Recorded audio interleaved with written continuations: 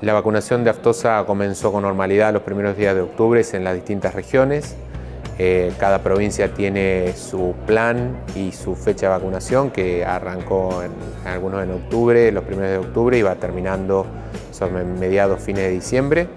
con total normalidad. Por suerte eh, los productores eh, ganaderos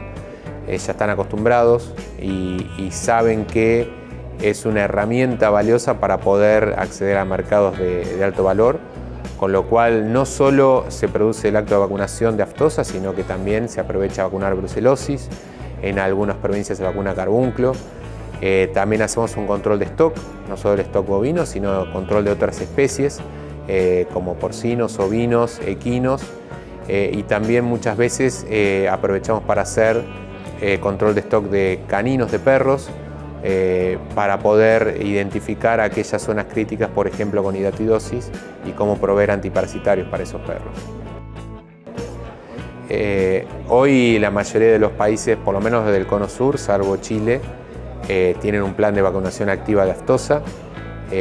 tanto Uruguay, Paraguay, Brasil, Bolivia, Venezuela, Colombia, Hoy estamos preocupados en la región porque además de los casos venezolanos, eh, ya hay varios casos reportados en Colombia oficialmente, con lo cual es una preocupación para la región y por eso estamos permanentemente activos e intercambiando información con nuestros pares de otros países respecto a la contención de estos brotes y cómo puede repercutir en el estatus sanitario de toda la región.